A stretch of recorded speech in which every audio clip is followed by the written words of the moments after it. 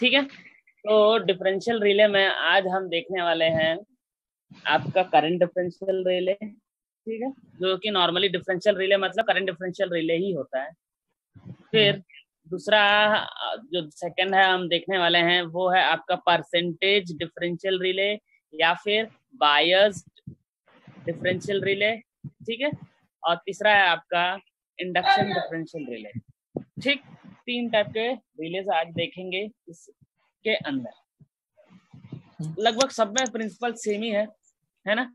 एक इंडक्शन को छोड़ के करंट डिफरेंशियल रिले बोलो या डिफरेंशियल रिले और आपका परसेंटेज डिफरेंशियल रिले दोनों में सेम ही है। तो इस करंट डिफरेंशियल रिले को अपन देखते हैं ये कैसे फ़ंक्शन करता है, क्या होता है, ठीक है? और उसके बाद इसकी कुछ लूप लूप पॉइंट्स हैं इसके कुछ कुछ ड्रॉबैक्स हैं, उनको देखते हैं। उनको समझने के बाद उसके आधार पर हमने जो दूसरा नया डिफरेंशियल रिले इजाद किया जो कि आपका परसेंटेज डिफरेंशियल रिले है उसके बारे में देखेंगे। ठीक है? तो यह है आज का टॉपिक तो हम ये जो करंट डिफरेंशियल रिले जो कि आपके स्क्रीन में दिख रहा है है ना? इस करंट डिफरेंशियल रिले को समझने से पहले आप पहले इसमें देख लो कंस्ट्रक्शन क्या है। यहाँ हम दो करंट ट्रांसफार्मर देख रहे हैं जो कि एक लाइन से कनेक्टेड है। दोनों लाइंस के बीच में आपका क्या है एक प्रोटेक्टेड सिस्टम एलिमेंट है। एक ऐसी प्रोटेक्टेड सिस्टम एलिमेंट में वो आता है जैसे कि आपका जनरेटर हो गया ट्रांसमिशन लाइन हो गया या फिर आपका ट्रांसफार्मर हो गया। उसकी जो वाइंडिंग है जिसकी हमको प्रोटेक्शन करना है उसके दो टर्मिनल्स के को हम दो को दोनों को क्या करेंगे अपन उस ट्रांसफार्मर या जनरेटर के जो वाइंडिंग है उसको ट्रांसमिशन लाइन से कनेक्ट करके रखेंगे। अब इसको क्या करेंगे? दो सीटी दोनों सीट दो सीटी लेंगे, दोनों को दो एंड पे प्लेस करेंगे, ठीक है? अब इन दोनों सिटीज़ की सेकेंडरीज के अक्रॉस हम क्या करेंगे? एक रिले ऑपरेटिंग कॉइल को लगा देंगे, ठीक है? रिले ऑपरेटिंग कॉइल को, ठीक? अब क्या होता है? चूँकि ये तो था इसका कंस्ट्रक्शन अब जैसा कि इसका नाम है डिफरेंशियल रिले इसका नाम क्या है? डिफरेंशियल तो ये जो डिफरेंशियल रिले है है ना? इस डिफरेंशियल रिले में इसको नाम डिफरेंशियल इसलिए पड़ा क्योंकि ये डिफरेंस करंट के बेस पे काम करता है। मतलब जो डिफरेंस अमाउंट निकलता है है ना? तो उसके बेसिस पे। तो ये जो है आपका डिफरेंशियल करंट रिले इसमें क्या होता है कि हम कंपैरिजन करते हैं। हम क्या करते हैं? कंपैरिजन करते हैं। अब बात यह आती है कि किसका कंपैरिजन करेंगे?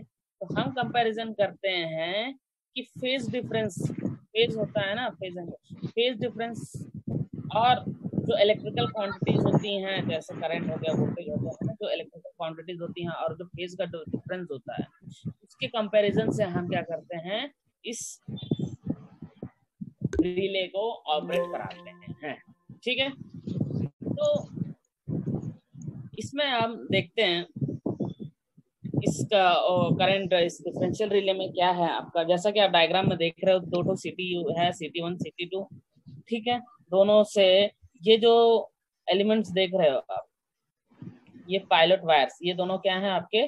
पायलट वायर्स पायलट वायर्स अब ये ओवर करंट आपका सॉरी ओवर करंट का जो रिले ऑपरेटिंग कॉइल है ये वहाँ यहाँ पे वो एलिमेंट हम्म। आएगा चाहे वो जनरेटर हो ट्रांसमिशन लाइन हो या ट्रांसफार्मर हो उसकी जो है बाइंडिंग आती है। और यहाँ पे सी टू आता है, ठीक है? अब हम जो ये केस देख रहे हैं, हम जो ये केस देख रहे हैं, इसमें क्या हो रहा है कि हमारा जो फॉल्ट है, वो कहाँ हो रहा है? एक्सटर्नल लोड पे मतलब ये जो एरिया है, ये इतना एरिया जो है प्रोटेक्टेड जोन है, ठीक? अब ये क्या है? अनप्रोटेक्टेड तो अगर सपोज़ मान लो यहाँ पे, अगर सपोज़ मान लो कि आपका जो फॉल्ट है वो यहाँ होता है, आपका जो फॉल्ट है वो यहाँ होता है और ये आपका क्या है? आपका प्रोटेक्टेड जोन है।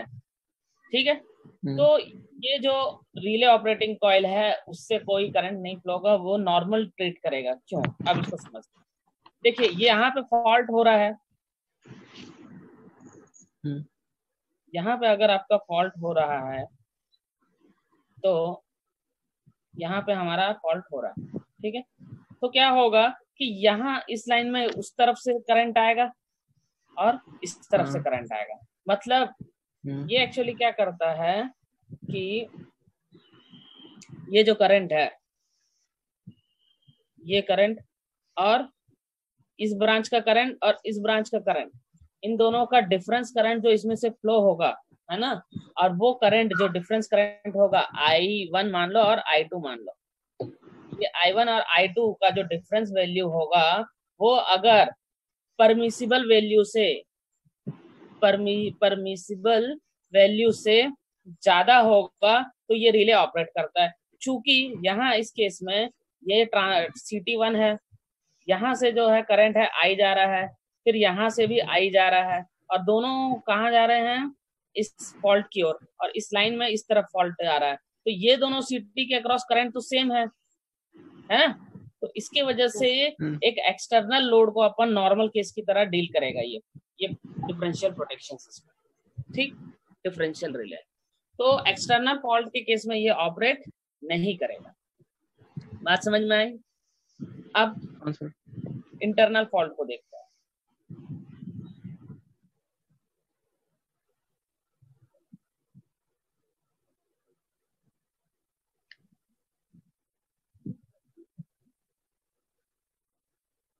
अब चूँकि अगर सपोज़ मान लो हमारा वही सिस्टम है हमारा सिस्टम वही है लेकिन यहाँ पे फॉल्ट क्या है?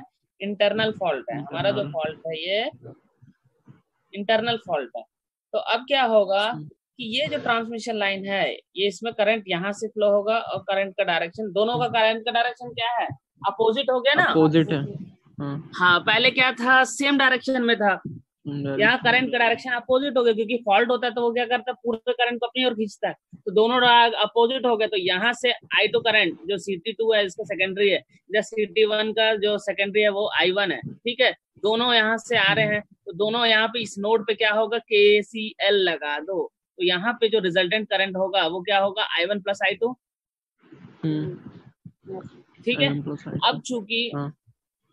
यहाँ पर जो करंट फ्लो हो रही है I one plus I I2 ये जो करंट है ये अगर परमिसिबल वैल्यू से ज़्यादा है तो आपका ये जो तो कौन सा कॉइल है? ये रिले ऑपरेटिंग कॉइल है। इस रिले ऑपरेटिंग कॉइल से क्या हम्म। होगा? ट्रिप सर्किट कनेक्ट होगा। ट्रिप सर्किट जुड़ जाएगा तो उसमें करंट फ्लो होगा।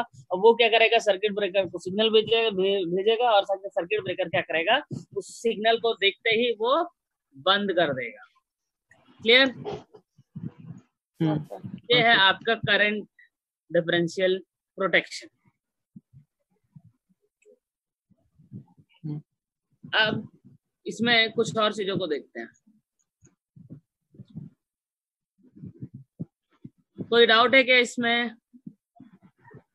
नो सर अब इसमें कुछ फॉल्ट्स होते हैं उनको समझते हैं। जो फॉल्ट्स होती हैं उनको समझते हैं।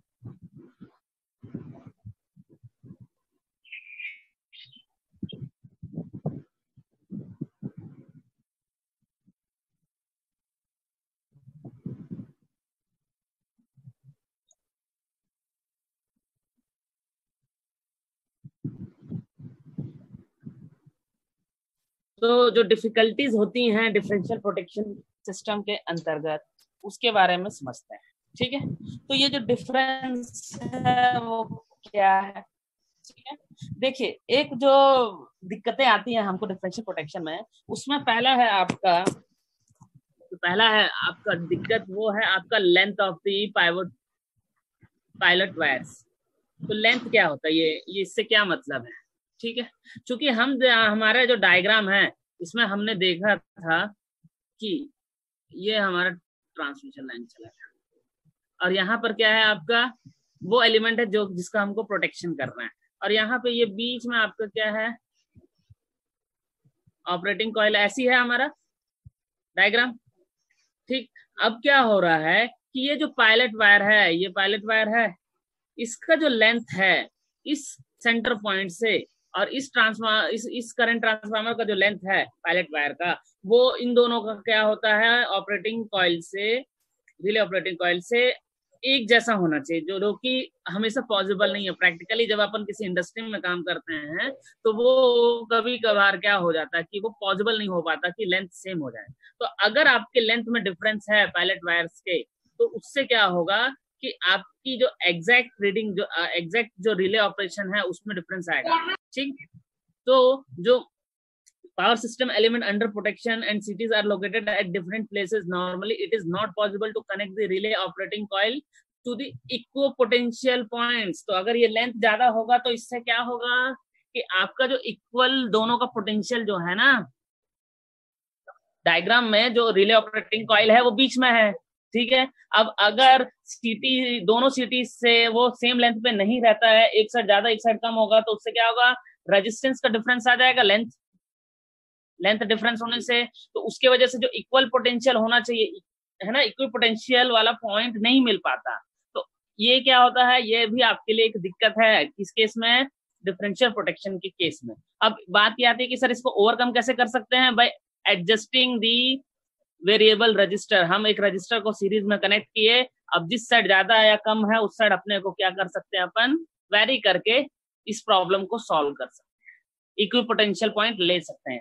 मिल जाएगा। ठीक है? अब सेकंड आता है आपका CT ratio errors during short circuit ये जो है सीटी रेशियो एरर ये one of the important point है बिकॉज़ इसी सीटी रेशियो की वजह से ही आपका आपका परसेंटेज डिफरेंशियल रिले है नीड हमको ज़्यादा महसूस हुई। मतलब इस ये जो है, बहुत बड़ा दिक्कत।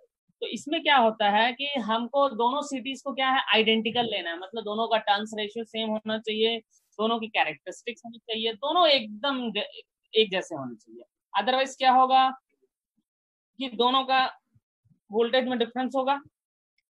हाँ दोनों का सेकेंडरी जो करंट है, वो सेम नहीं होगा, क्योंकि सेकेंडरी वोल्टेज चेंजेस होंगी। तो उसके वजह से हमको क्या होगा कि रिले ऑपरेटिंग कॉइल से जो है, वो डिफरेंस करंट फ्लो होगा। ठीक? तो ये क्या होता है? ये हमारे लिए क्या है? नुकसानदायक। मतलब इसके वजह से क्या होता है? फॉल्ट ना होने के बाद भी क्या होगा? आपका रिले ऑपरेट कर देगा माल फंक्शनिंग होगा।